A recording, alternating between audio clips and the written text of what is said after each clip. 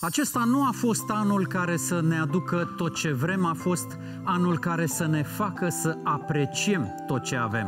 Acum vine un an în care să ne punem speranțe că tot ce a fost mai greu a trecut și că 2021 va transforma tot ce e trist în bucurie și tot ce e în întuneric în lumină. Rămâneți cu TVR, suntem împreună cu voi, sărbători fericite!